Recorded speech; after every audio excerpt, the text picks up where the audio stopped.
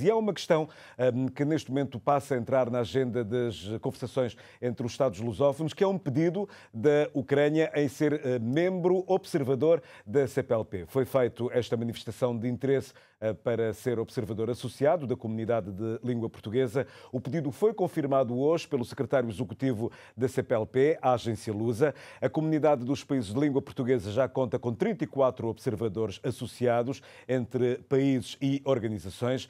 Na última cimeira que aconteceu em São Tomé e Príncipe, foi aprovado o novo regulamento dos observadores associados que os vincula a estabelecerem uma parceria no âmbito da concertação política e diplomática em matéria de relações internacionais, a cooperação em todos os domínios e a difusão e promoção da língua portuguesa.